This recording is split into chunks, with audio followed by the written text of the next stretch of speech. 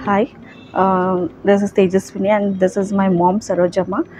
Um, like on Saturday, my mom by misly uh, she fell down and uh, ನಾವು ಎಮರ್ಜೆನ್ಸಿಗೆ near by ಹಾಸ್ಪಿಟಲ್ಗೆ ಕರ್ಕೊಂಡು ಹೋದ್ವಿ so and we took second opinion also so is a family doctor ಅವ್ರ doctor Avinash ಅಲ್ವಾ so ಈ suggested to this hospital United hospital and for emergency we came to year and the way the staff and the doctor they received and the service they provided was very good. And the surgery went very smoothly.